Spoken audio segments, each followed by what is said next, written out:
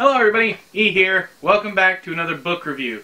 Today we are talking about the fourth and final in this collection anyways, Bachman book out of the Bachman books, The Running Man. Um, let me go ahead and find the cover real quick. But uh, as I'm looking for this, I want to talk to you guys about some things that I found. First and foremost, this is not a Thursday Theorist. So if you're looking for that one, go check the Thursday Theories playlist or just search for it. But this is the cover, the original cover for The Running Man. Pretty basic, pretty plain. I think out of all the covers for this entire series, my favorite one is for Roadwork. I think uh, it tells the best overall story and prepares you the best for the book of the original covers anyways. Um, now, Another thing I'm going to touch on in this review is as far as this version of the book by itself, and I might go through and do a review just for this book, but for now, let this stand as a review for the bind up of these. Um, I do not suggest anyone read the Bachman books one right after another.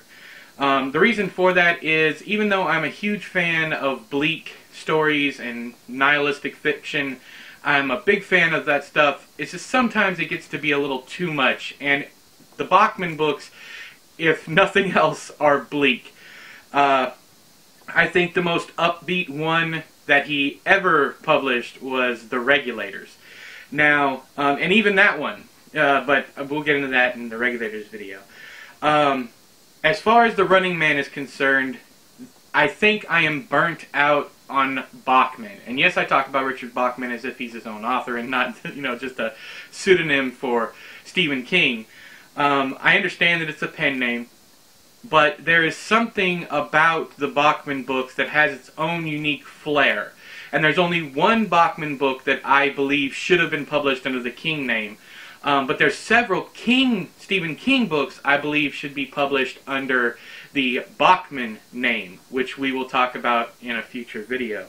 Um, I will also be going over what happened with Stephen King and why he decided to come out and tell everybody that he was Richard Bachman, how it happened, that kind of thing. Go into more detail than it does in the beginning of this bind up.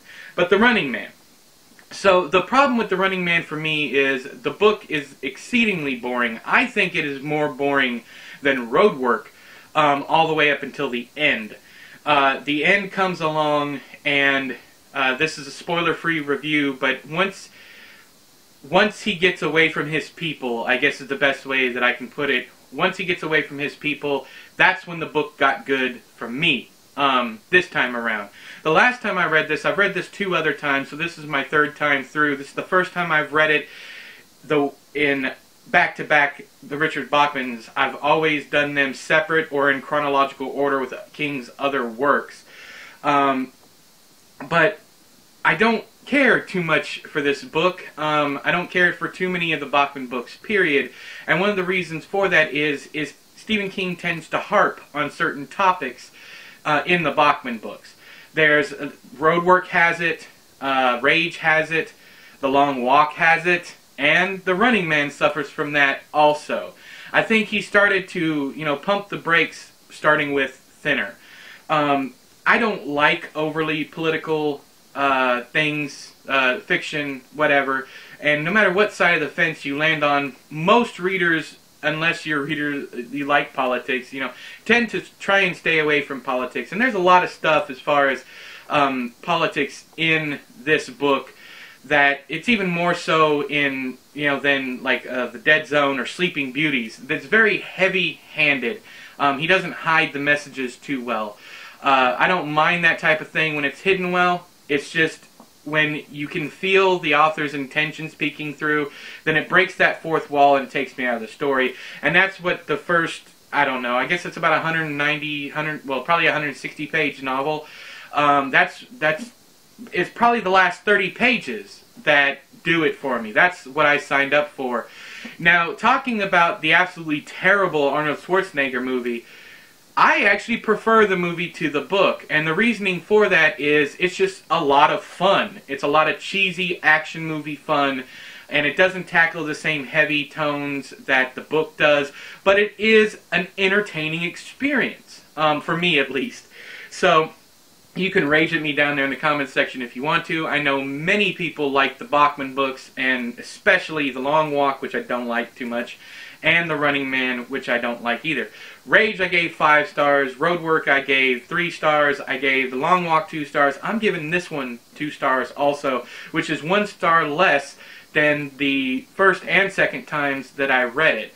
Uh, this is, of course, my least favorite read-through of these stories. Um, I found something new in each and every one of the stories that made it worthwhile. Stephen King's work has always been like that. That's why I've reread him more than any other author.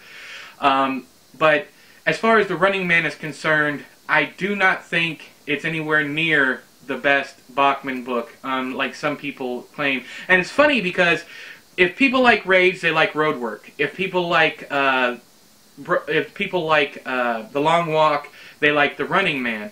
I think those are those are two those are kind of like twinners, if you want to say.